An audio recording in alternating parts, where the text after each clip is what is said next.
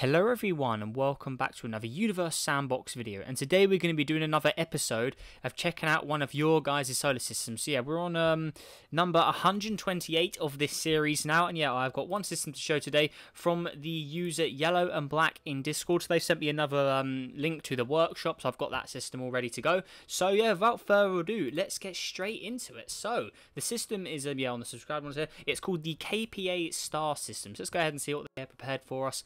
Um, today. So here we go. So it's a small star system with a decent amount of objects. So here we go. So here is our uh, full system size. So there we go. All right, let's see what they are prepared for us. So we got the uh, KPA Red Dwarf star right here. So here are its stats. So as we can see, nothing too powerful um, compared to the sun there.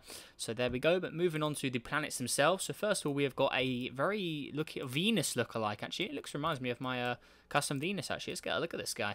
So uh, let's have a look. Oh, it's very low in mass though. If we look at the uh, mass here, it's 40 moons. Yeah, not the uh, largest thing around as we can see. So it's been definitely made smaller. If we look underneath the atmosphere there, so it has got oceans on it. Okay, interesting. So there we go. So it's covered in oceans, and all ocean world It's at 62 degrees. Let's check the uh, stats on this guy. So if we come all the way down here, 85, but it's got no life likelihood. So I wonder why that is. So yeah, it's really warm, but you could probably still normally get life likelihood at that. So maybe it's due to the let's see here the atmosphere pressure where, where, where's the atmosphere oh it's playing in different versions it really does get you mixed up so it's got 50.8 so yeah pretty uh, crazy. I'm not too sure why we're not seeing any number there. I'm guessing it may just be down to the temperature.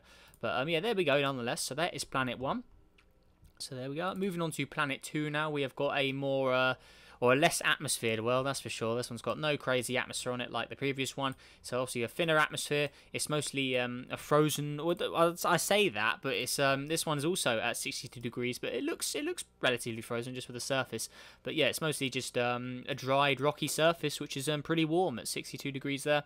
So yeah there we go. Obviously there's no oceans on here so I wouldn't expect any life likelihood on there so there we go. Moving on to planet 3 now. We have got another world sort of following the colour scheme with the um, the creamish sort of colour. It looks to be colonised underneath the atmosphere. So we'll get a look um, without that. So there we go. So that's what it actually looks like. So there we go. So it's got um, got some oceans on it. It's got some white clouds. Oh, almost white anyway. So 24 degrees. This one's definitely in the a lot better sort of area for life. Um, its stats are 93 and 40. So pretty decent stats on this one here. So there we go. That is planet 3. I really do like the um, the chosen colours this one. I think it looks really good like that. So let's just go on our studios and get a, that's what it actually looks like. So remember the star does change the colour. Maybe it's tidally locked as well since this side is frozen. I only just noticed that as well.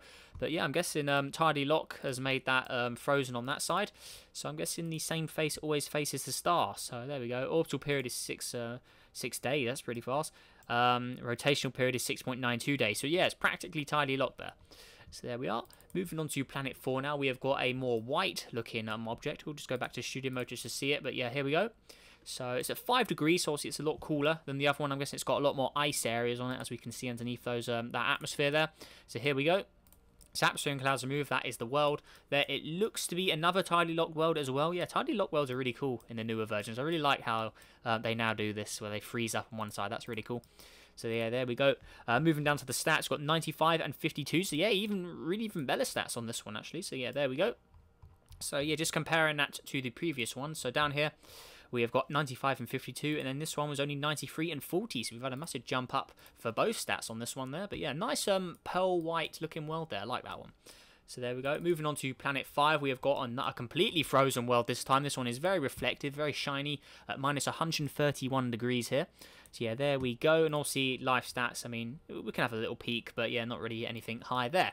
But yeah, there we go. There is the world. And then a realistic mode as well. That is what it looks like. So it's just tinted red by the starlight. So there we are. Right now, moving on to... Um, okay, so next up we got Dwarf Planet 1. It looks like there's a bit of an asteroid belt if we just go on flashlight. Yeah, there's a bit of an asteroid belt going on there as well.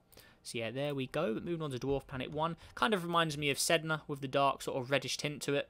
Uh, minus 126 degrees. Very, very cool here as well. But yeah, there we go. No moons on this one. So heading out from there. I'm interested to see what Planet 6 is because it looks to have a lot of moons or rings or something around it. It's a lot of uh, Look, looks like there's a lot of orbits showing up around it. Uh, but now moving on to um, Dwarf Planet 2, we've got another uh, basic rocky world out here. Obviously, um, still very, very cold as well, but pretty cool colour scheme on this one with just the, the greyish uh, mixes. I think that texture, that's chosen uh, surface texture, I think that looks quite good with the uh, the mix of greys on there. So yeah, there we go. Kind of reminds me of um, what Mercury would look like in reality, just a very greyish um, colour there. Now moving on to Planet 6, so we got the first of the gas giants. I'm guessing there may be more than one. Yeah, it's got two uh, two moons around it. Um, yeah, here we go. So it's mostly like a pale sort of orange tan colour. We've got uh, obviously a pinker uh, band in the middle with two white and grey bands um, on each side as that. And then, uh, oh, the South Pole's got this sort of dark purple to it um, as well there. But yeah, there we go. So Planet 6, go back to realistic as well. So there it is. Uh, moving on to moons. So let's go on the moon. So there we go. So moon A2, so obviously very, very small little moons here, not very large in size um, whatsoever, at 187 there. Then we have got uh, moon A1, so there we go. So there are those guys. And this one has a bit more of an atmosphere to it as well, as we can see here. Not as thick as a Venus atmosphere, but you can still just about see to the surface um, with this atmosphere there. But yeah, there is moon A1. So there we go. Now we got Rogue Planet 1. So it looks to be the last planet of the system for today. Uh, but yeah, here we go. So Rogue Planet 1, I'm guessing it's an object which has just sort of flown near the system and got caught by the star by the looks of it here. But yeah, here we go. So, so obviously an all-grey gas giant there. Um, and then moving on to the moons, we've got um, some ones quite close to the planet here actually. So there we go. It's got that little like weird glitch at the top as well there. But yeah, it's not really too much of an issue. So yeah, very, very dark coloured here. Yeah, and as you notice as well, very, very dark. Because obviously we're starting to get to the end of the Red Dwarf's uh, light um, by the looks of it. If we look on the uh, zone, I'm guessing we're a bit long past the zone. Yeah, we're all the way out here now. This object is, uh, let's see here, two, two, only takes two years to go around. That just shows how close we actually are. I mean, it's only double what Earth is around the sun there. So um, where are we here? So yeah, the major axis here. So if we put that in AU, it's not even one Earth in distance and it's almost dark here. That just goes to show that the red dwarfs they really don't have the the um, power of our sun, and, and, obviously the stars all above that as well. Because remember, our sun's not the most powerful thing out there, but I mean compared to this red dwarf, and also all the red dwarfs, um, in theory, yeah, even at 0.7 AU, it's already getting pretty dark out here. It just goes to show the red dwarfs are very limited in their luminosity there. But yeah, moving on to the other moons as well. So we've got uh, G2 out here, another frozen world. Obviously, these are all going to be frozen at this point, minus 270 degrees. Uh, and also, yeah, if we just go through the um, rest of the moons as well, so we've got G3 here, so it's got an orange and white colour theme. Uh, G4, all that here. Oh, it's actually a micro object, as we can see. So yeah, one of those little um, asteroid-like ones.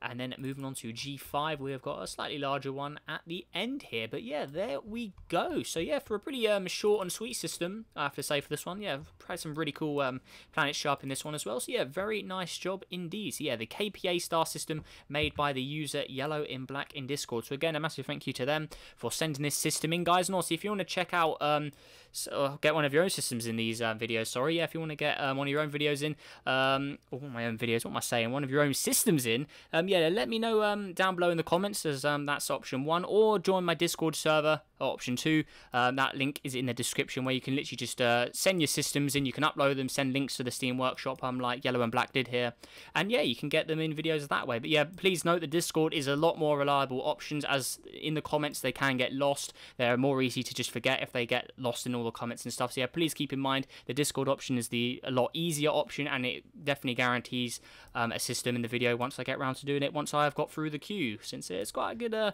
good amount in the queue at the moment. But yeah, with that all out the way, guys, a massive thank you for watching today's video. Before we finish off, let's get a lineup of all the objects like we always do.